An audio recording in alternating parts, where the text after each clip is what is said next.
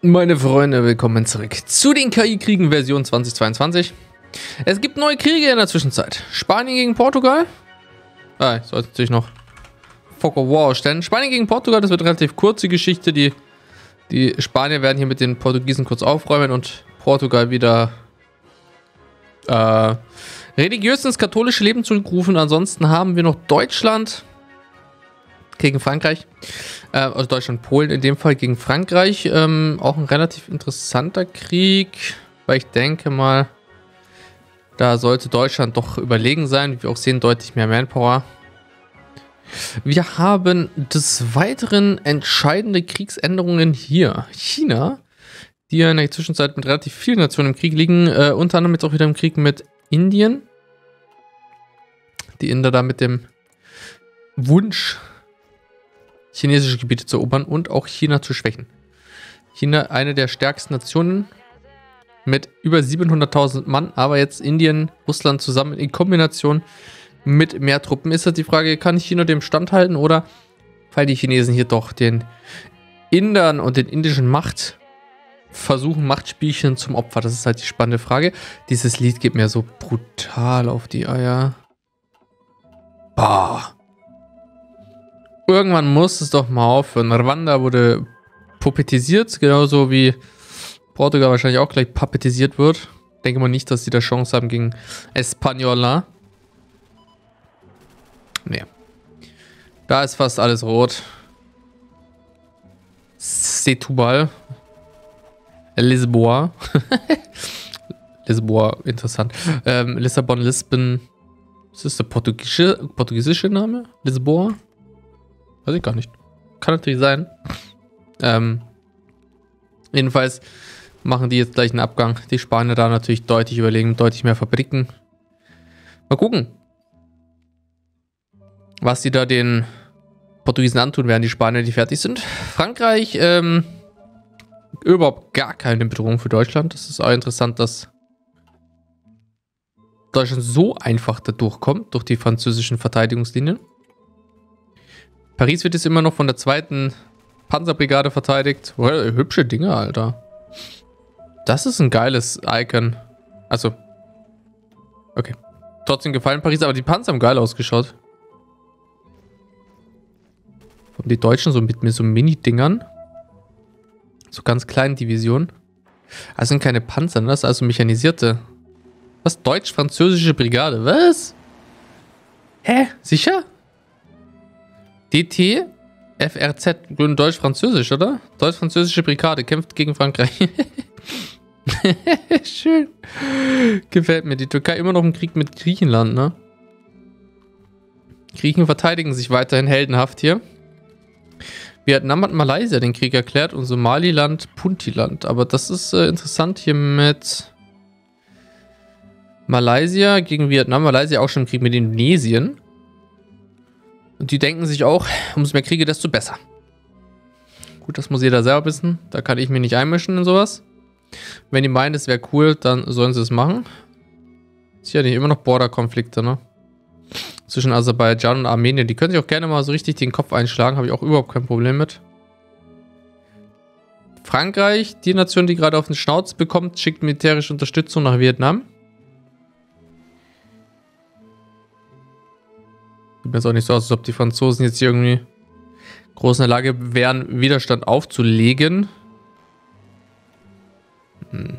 Verluste 8000 zu 1000, Manpower doppelt so hoch. Hm. Wobei, wenn man es schlau macht, ne, okay.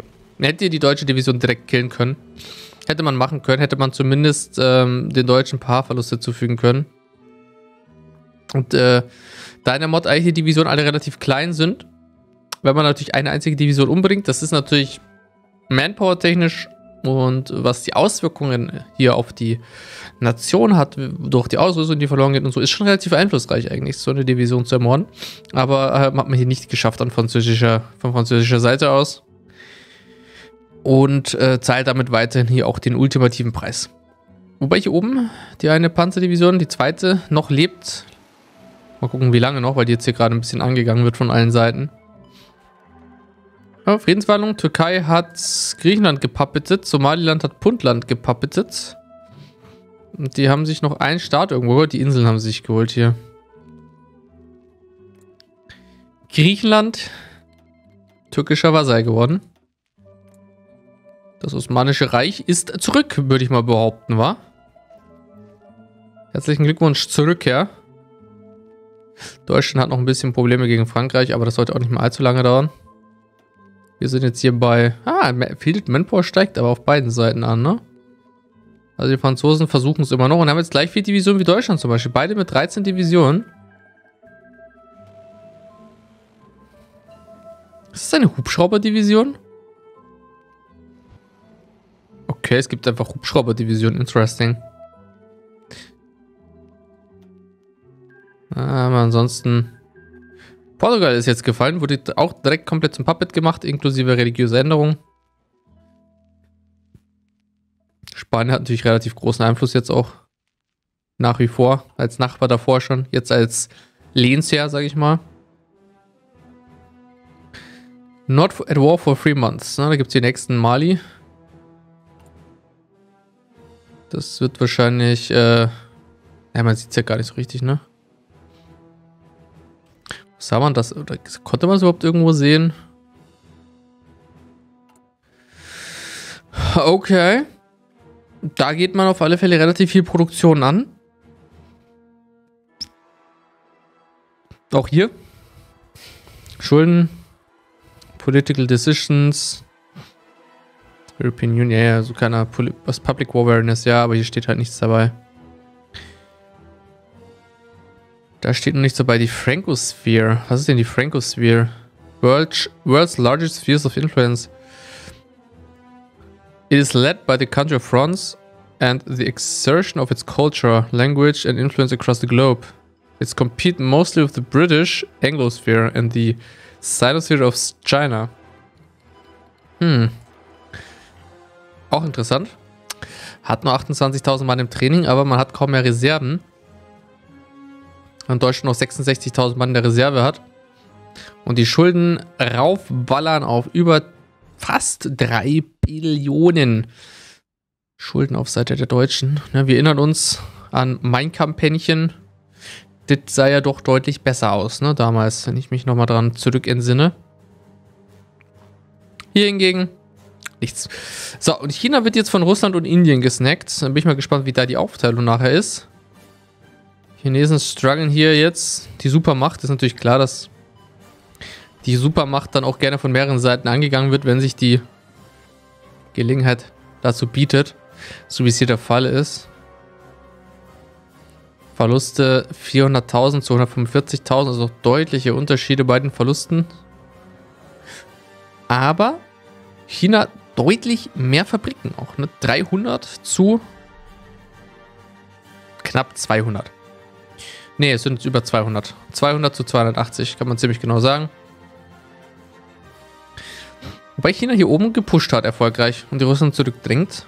Oder? Werden jetzt wieder zurückgedrängt? Also die Russen pushen jetzt... Ah, okay. Also die Chinesen haben zuerst hier lang gepusht. Sind jetzt aber wieder dabei zurückgedrängt werden von Russland. Man verliert auch relativ viel Core-Gebiete. Ähm, Core-Bevölkerung, die wir jetzt noch hat, ist 1,35 Milliarden. Hat aber schon ein paar Gebiete verloren. Somali National Alliance. Somalia was annexed.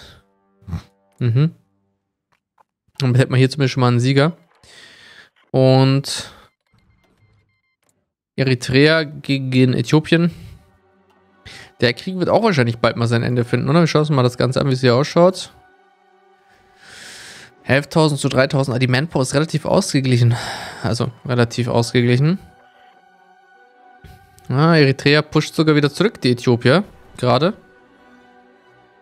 Ja, in Äthiopien aber hier selber Erfolge zu verzeichnen hat, hier im, in der Mitte von Eritrea. Und doch relatives Hin und Her, ne? Die Offensive klappt nicht. Da wird man bei Axum weiter zurückgepusht. In Europa Universalis 4 hatte ich da längere Zeit Probleme mit dieser Stadt Axum. Darüber möchte ich jetzt gerade nicht reden. Also für China schaut es nicht gut aus. Die Deutschen jetzt in der Zwischenzeit gegen Frankreich. Das hat sich jetzt komplett auf eine Front verschoben. Die Franzosen nur noch mit 12 Divisionen. Die sind auch alle hier verteilt. Ansonsten passiert hier nicht viel. Da steht halt kurz vor der Aufgabe. Deutsche Truppen verteidigen jetzt hier ein paar strategische Punkte im Norden. Brest. In der Normandie. Wer kennt's nicht? Normandie ist schon immer ein kritischer Punkt gewesen. In der Geschichte Deutschlands. Der Sudan. Israel hat Palästina den Krieg erklärt. Oh. Ähm.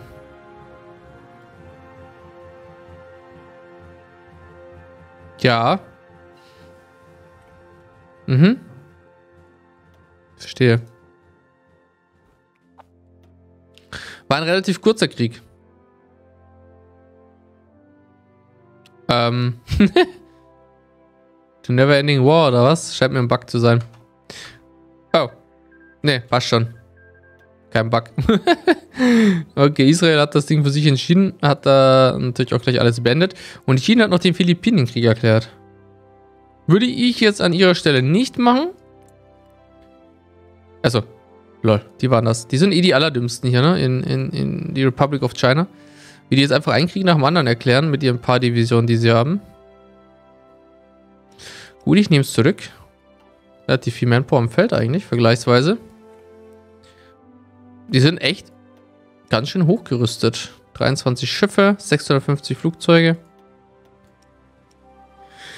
25 Divisionen mit 150.000 Mann. Wenn wir das zum Beispiel mit Deutschland vergleichen, die haben ja nur 80.000 Mann. Und kriegen nicht mal Frankreich besiegt. Eigentlich traurig. Sich mal so überlegt, dass die Deutschen so gegen Frankreich verscheißen, die eigentlich schon gar nicht mehr existieren. Wie schaut es eigentlich in den USA aus? Stimmt. United States, okay, die haben ihre Kriege gegen Mexiko fast gewonnen. Gegen Kanada ebenfalls. Beide Nationen kurz davor zu surrendern. Sowohl Kanada als auch Mexiko, weil beide erst bei 0% aufgeben. Das nennt man Kampf bis zum allerletzten Mann. Es wäre interessant zu wissen, was passieren würde, würden sich diese Staaten auch noch gegen die USA mit anschließen. Und es gibt neue große Kriege. Die Türkei ist im Krieg mit Rumänien, Bulgarien, Mazedonien, Albanien und Bosnien. Dann haben wir die United States haben sich, ähm, wie schon vermutet, Feinde gemacht in Kuba und äh, den ganzen Staaten hier südlich von Mexiko. Außerdem hat sich Dänemark und Island noch angeschlossen gegen die United States. Und das ist jetzt relativ interessant, auch was die Türkei natürlich macht hier. Denn die Türkei hat zwar Puppets mit Bulgarien und Griechenland. Ist natürlich nur die Frage. Ja, okay. Also da gehen die ersten Nationen direkt baden. Bosnien, oh, jetzt treten relativ viele Nationen dem äh, Commonwealth bei. Das Commonwealth unter dem Dienste der United States of America. Die sich ein paar extra Feinde gemacht haben. Rumänien ist ebenfalls dem Commonwealth beigetreten. Jugoslawien auch.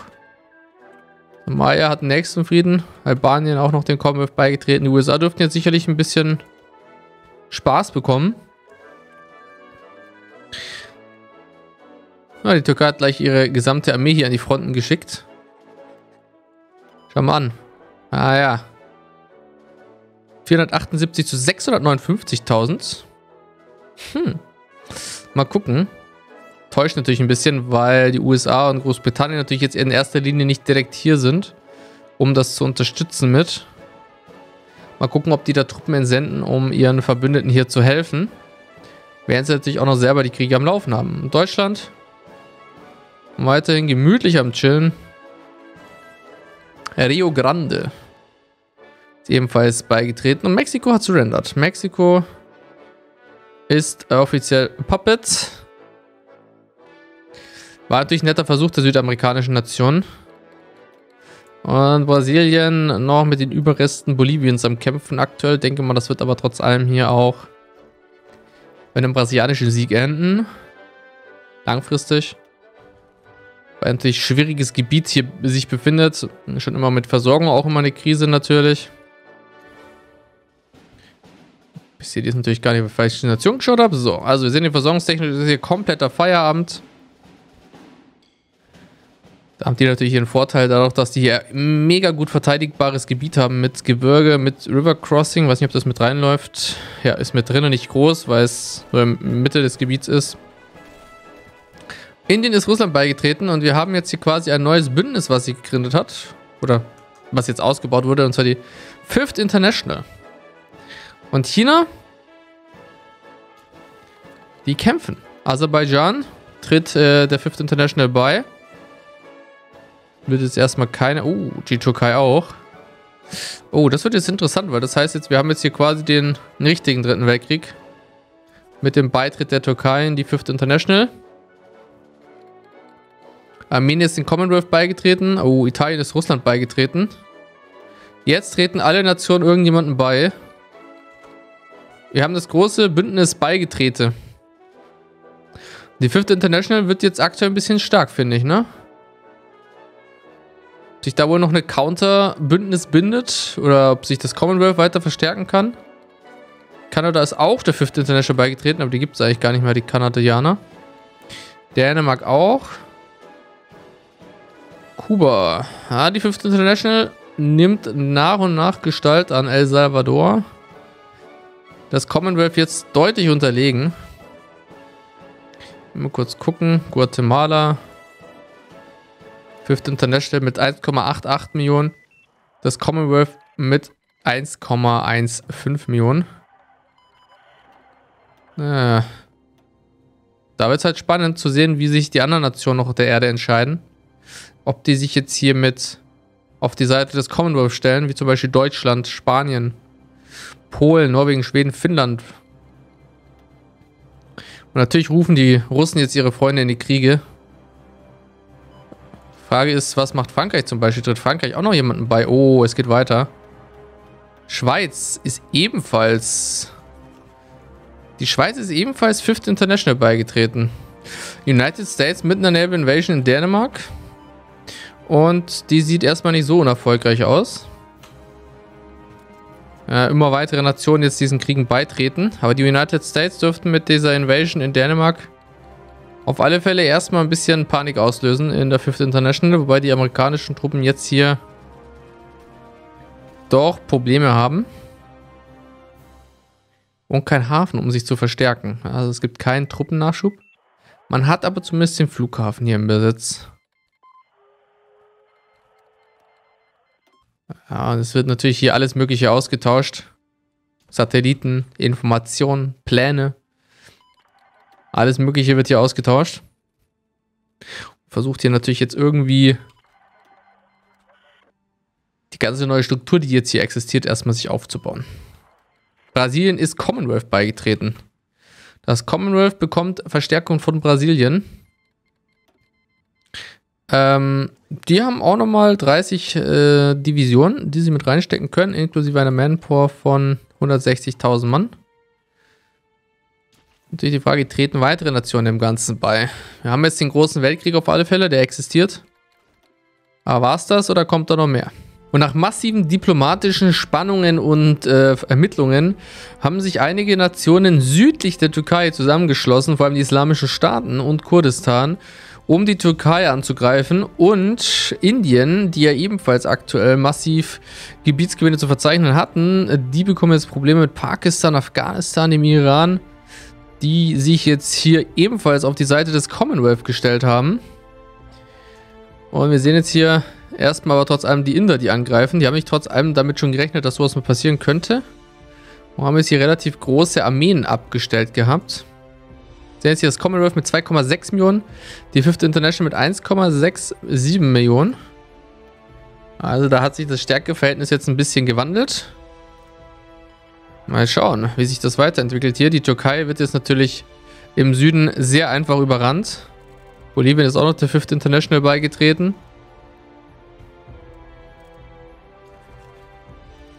Das Commonwealth wird jetzt hier in Europa höchstwahrscheinlich langfristig die Fifth International zurückdrängen können. Und dann kommt es natürlich zum Krieg gegen Russland. Das ist natürlich die Frage, wie entwickelt sich der Krieg gegen Russland? Beide Seiten mit enorm viel Manpower trotzdem. Es kann immer alles passieren, aber die Türkei, denke ich mal, wird jetzt hier in ihren Heimatgebieten doch relativ überlaufen. Es gibt auch Naval Invasions hier in Southern Russia, geplante Naval Invasions von oder nach Krasnodar. Oder? Irgendwo hier. Wir sehen aber nicht, wer das plant, ne? Steht einfach nur, there are enemy naval invasions targeting these states. Mehr steht da nicht. So, das war es jetzt nicht mit der Türkei. Die wird jetzt natürlich hier komplett überrannt. Ah, Deutschland ist der Fifth International beigetreten. Ah ja, das ist interessant. Das killt auch hier oben Dänemark ein bisschen die Vibes, denke ich mal. Weil jetzt durch deutsche Truppen auf einmal hier im Norden mitkämpfen, zusammen mit US-Truppen. Israel ist ebenfalls Russland beigetreten. Hey, hey, hey. Ihr bringt mich alle ins Grab heute. Was ist denn hier los? Israel ist jetzt ebenfalls mit im Krieg drinne. Ungarn ist auch der Fifth International beigetreten. Okay, okay. Also, das ist hier ein äh, interessantes Hin her. Saudi-Arabien auch scheinbar im Krieg mit dem Commonwealth. Die werden wahrscheinlich dann auch. Frankreich ist dem Commonwealth jetzt beigetreten. Also jetzt haben wir hier einen richtig geilen Krieg.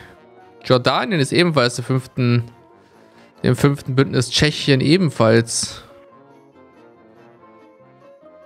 Eieieiei. Tja. Ukraine hält sich noch raus aus der ganzen Geschichte.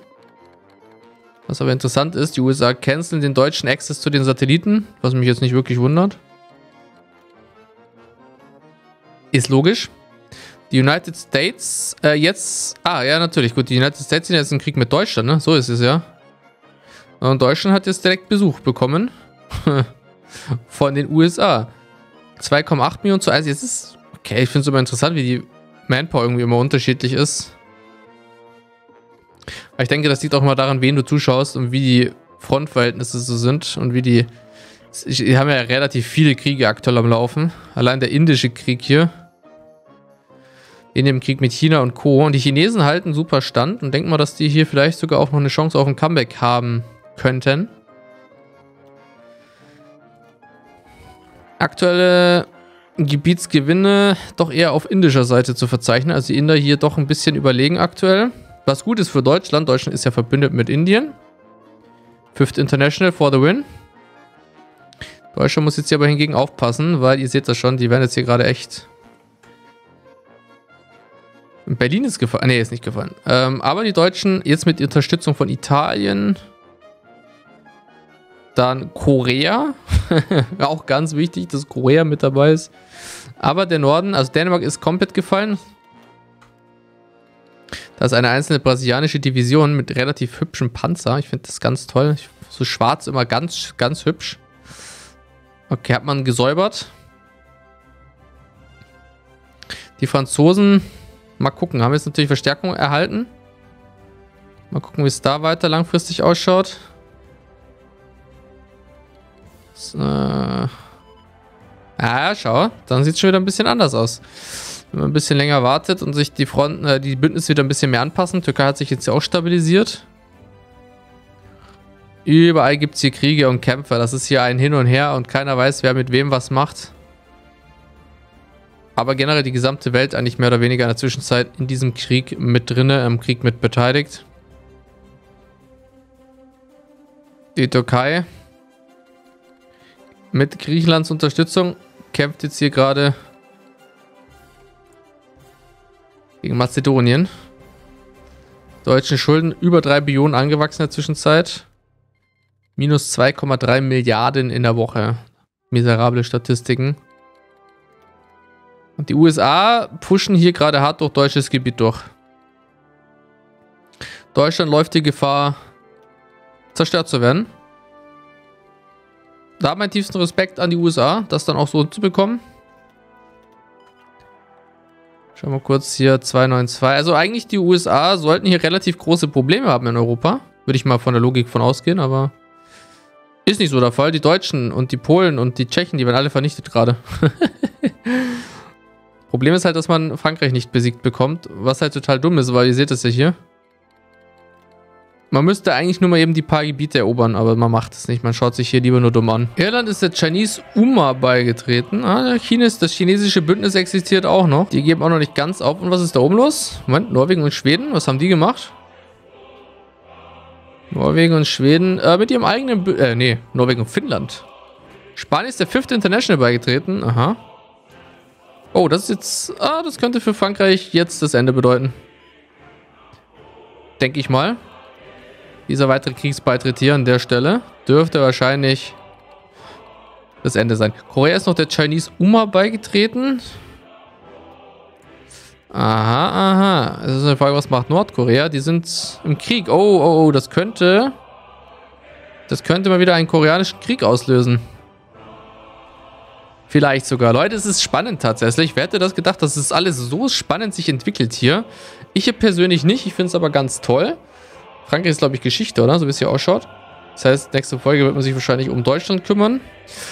Aber ja, schauen wie es weitergeht. Wird spannend. Danke fürs Zuschauen. Haut rein. Tschüss.